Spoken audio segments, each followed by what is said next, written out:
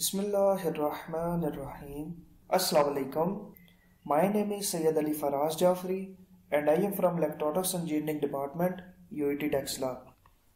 And the article which I am going to present is an automated system for the classification of bronchiolitis and bronchiectasis diseases using lung sound analysis. These are the table of content which I am going to cover. First of all, our motivation.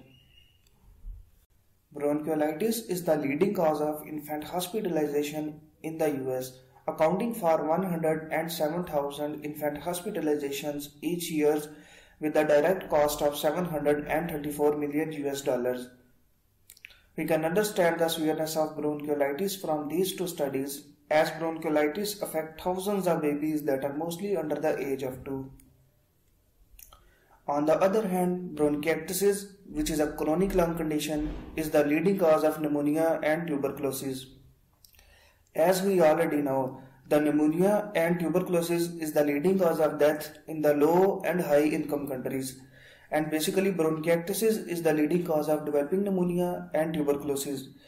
With an approximately 522,000 cases diagnosed annually and a direct cost of 734 million US dollars. Various methods are used for the detection of such respiratory diseases such as X-ray scan, CT scan and MRI scan. But these methods are highly complex, time consuming and expensive. So there is a need to design an intelligent system for the precise diagnosis of such respiratory diseases through low cost and non-invasive technique. Introduction Bronchiolitis is a common chest infection that affects babies and children under the age of 2. The infection causes the inflammation and swelling of the bronchi, which is the small air passages of the lung. The infection bronchiolitis is easily treatable at home with the proper protection. Generally, 80% of the time it is occur due to a very common known virus which is respiratory syncytial virus, while 20% of the time it can occur due to other viruses also. The symptoms associated with the bronchiolitis are coughing, wheezing, runny nose, difficulty in breathing, feeding, and eating. Although the infection bronchiolitis is easily treatable at home with the proper protection, but if in any case the infant is not properly treated, then this infection can cause the serious complications for the children and babies such as bacterial pneumonia and lower respiratory tract infection. On the other hand, bronchiectasis is a chronic lung condition in which the bronchi tubes becomes permanently damaged and wounded. This leads to a buildup of mucus accumulation and frequent infection into the lungs. The common causes for the bronchiectasis are obstructive lung diseases, allergic bronchopulmonary aspergillosis, chronic aspiration of gastric contents into the lungs, exposure to toxic gases or chemicals, infections, inherited disorders, immunodeficiencies, and autoimmune disorders. The symptoms for the bronchiectasis are chronic cough, frequent infections, shortness of breath, wheezing, chest pain. And the complications associated with the bronchiectasis are massive hemoptysis, respiratory failure, severe pneumonia, and tuberculosis. Literature view in 2019, a researcher team computed the STFT features from the lung sounds and they used it with the CNN model and they achieved the sensitivity of 54%. In 2020, another researcher team also computed the STFT features and they used it with the SVM which is a machine learning model and they achieved the accuracy of 65.5%.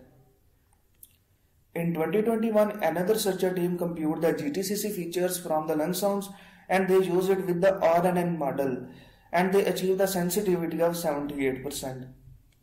While in the same year, another researcher team computed the different time and frequency features from the lung sounds and they use it with the ensemble classifiers while they achieved the accuracy of 96.29%. In 2022, another researcher team computed the MEL spectrogram of the lung sounds and they used it with the TCL model uh, which is a machine learning model that they have proposed in their study and they achieved the accuracy of 72.5%. Proposed methodology Our proposed methodology consists of a four stages. Uh, the first stage is data acquisition, second stage is pre-processing, third stage is feature extraction, and the last one is classification. Data acquisition. In the data acquisition stage, we first basically download the ICBHI 2017 respiratory database, which is International Conference on Biomedical and Health Informatics.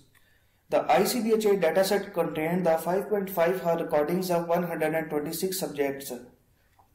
And the recording for each subject is vary from 10 to 90 seconds, while the data is recorded from the seven different locations of the chest.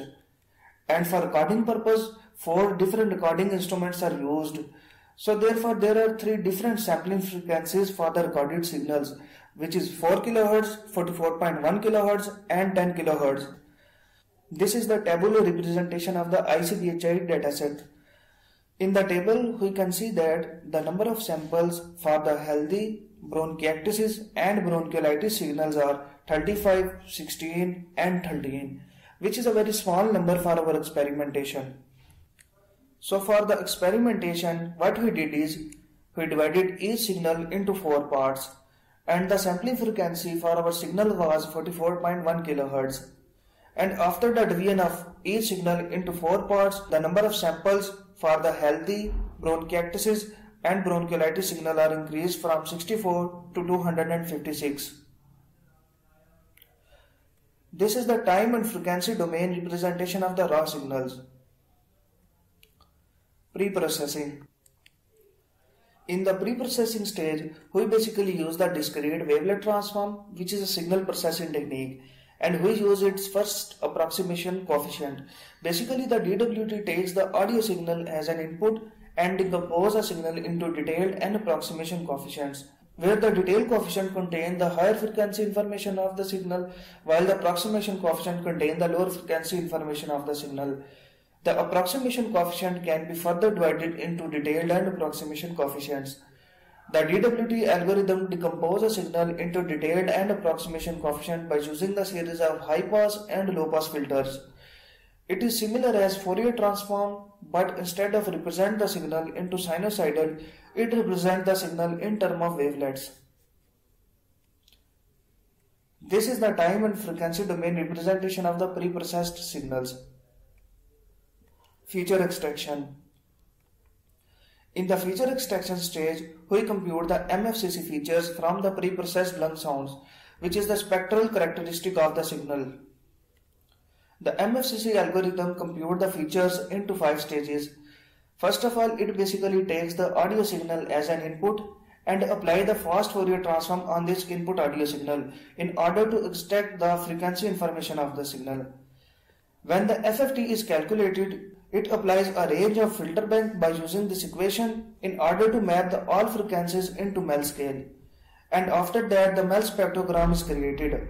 When the MEL spectrogram is created, it applies some non-linear rectifications on the spectrogram such as logarithm and then finally it applied discrete cosine transform to calculate the final cepstral coefficient of the input audio signal.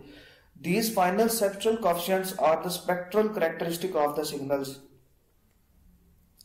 Classification For the classification purpose, we use the FINE-KNN with the 10-fold cross-validation. The FINE-KNN is a supervised learning algorithm, so we need to train it first with the label data. The FINE-KNN is a variant of k-nearest neighbor. In the KNN algorithm, it basically computes the Euclidean distance of the new unseen input with their closest data point of training data. While in the case of FINE-KNN, it computes the weighted average of the closest data points from the new unseen input data uh, instead of just calculating the Euclidean distance. The characteristic for the FINE-KNN are it is very simple and interpretable algorithm. That means it can be combined with the other machine learning algorithms such as support vector machine. And the computational complexity for the FINE-KNN is very less as compared to other machine learning algorithms. This is the graphical representation of the different classifiers in which we got the higher accuracies. But among them, we got the most accuracy in KNN model. Basically, these are all the machine learning models that can be used for the classification purpose. This is the graphical representation of the different KNN classifiers in which we got the different accuracies. But among all of them, we got the maximum accuracy on fine KNN classifier, which is 99.2%.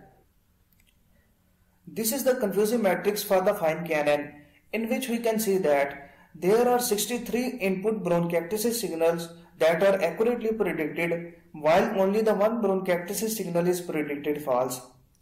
Same goes for the healthy signal. Only the one healthy signal is predicted false while all the other 139 signals are accurately predicted. While in the case of bronchiolitis, all the 52 input signal are accurately predicted and that's how we got the 99.2% accuracy. Conclusion An innovative and non-invasive procedure is proposed for the detection of bronchiolitis and bronchiectasis diseases in this study. Since there is no harmful radiation is used, so this method is not dangerous for the human health. The accuracy obtained was about 99.2%, which is more accurate than the other proposed algorithms. Our proposed method is less complex as compared to other proposed algorithms and it gives the faster results due to its simplicity.